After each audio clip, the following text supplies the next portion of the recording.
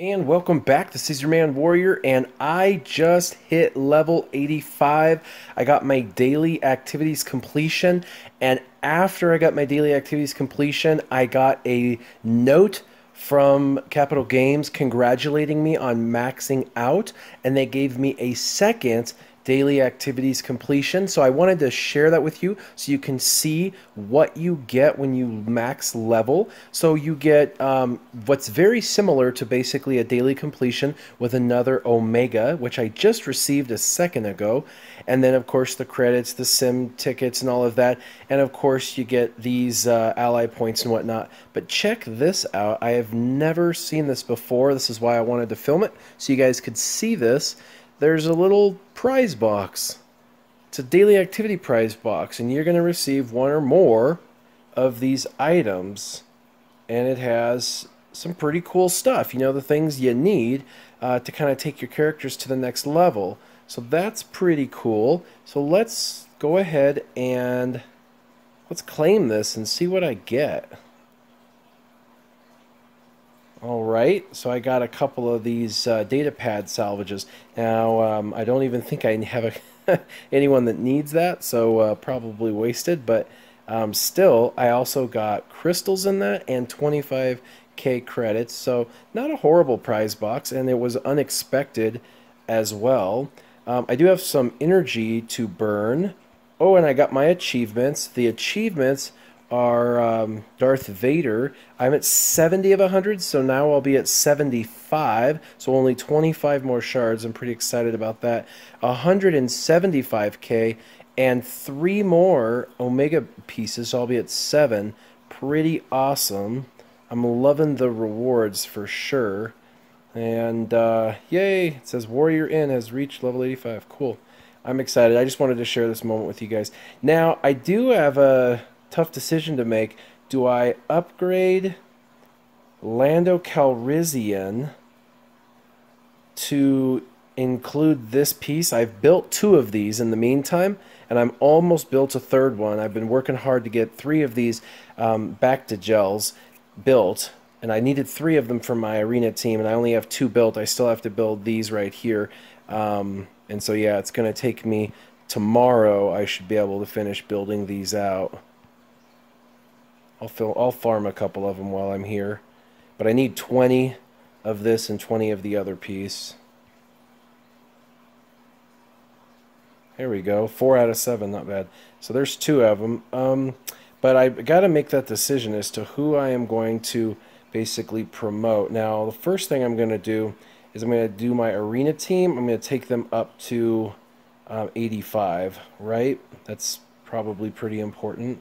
Um, wow, I've got 10,000 of the two stars. Let's do this. And oops. There we go. Wow, so from level 84 to 85, they cost 355,000 credits. That's painful. I got two and a half million credits, and they're it's going to be gone really quick. And of course, leveling your character up does not do a whole lot for the character um, as far as power goes, uh, or overall any real strength at all, but um, is pretty important just for the completion of your team, and every little bit helps. I've seen I've got a guy on my team or on my shard that has a team that's over 50,000 arena power and um, that kind of boggles my mind. But he uh, he doesn't do very well. He keeps getting bumped, and the reason for that is um, you can build out a team with like all health mods and using all health and protection, and makes them pretty stout. But the problem is, is um, there's there's not a lot of uh, synergy with like you know having four massive tanks and one attacker because all you got to do is have some way around the tanks like AoE or like a V2 and the tanks are rendered useless. So he's got a really huge powerful team but he keeps getting bumped and I think he's wondering why and if I could talk to him I would tell him honestly but um, you know that's the one thing I, I think this game could definitely do is improve the in-game communication It'd be fun if they had a regional or a national chat you could do on your shard. And, uh, you know, I think, I think, I think I need to give him one of the bacta gels. I really do. I know that I want to give it to uh, Sun Fac as well, but uh, he's going to get it. That puts him over 9,000 power, so that is good. And the last one is Biggs. I'm pretty excited about Biggs getting to level 85. This is actually very exciting for me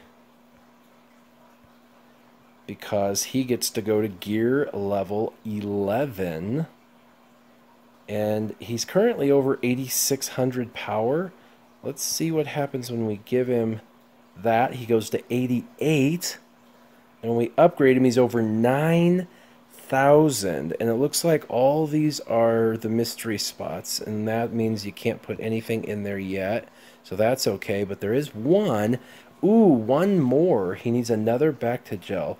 And I, uh, of course, don't have one. I've almost got another one built. Uh, and he's maxed out, so that's good. He's over 9k. Where did that put him? Okay, so him and Wedge are next to each other now. So pretty cool. And I can Omega someone's ability. And um, I've maxed Biggs, Wedge, and Sun Fac with their Omega abilities. So it comes down to Stormtrooper Han or Lando. I'm going to go ahead and do Lando's for now. So the only person I haven't Omega'd everything is Stormtrooper Han. And honestly, I'll probably never finish Plan B. And um, I really haven't worried about these two. Uh, while they're fine and you can Omega them, they have not been a large priority for me. So anyway, I hit level 85. That's exciting. Got to spend a little bit of stuff and level a few characters up. Um, it looks like I have about 600,000 credits left, so I might be able to level up by the end of today. Maybe two more characters from 84 to 85. That's about it. Um, so it's going to be a slow grind for sure to get everyone up, but I just wanted to share this little achievement with you guys so you can see all the rewards and achievement unlocks. Have yourselves a wonderful afternoon. Keep your gaming on. Warrior out.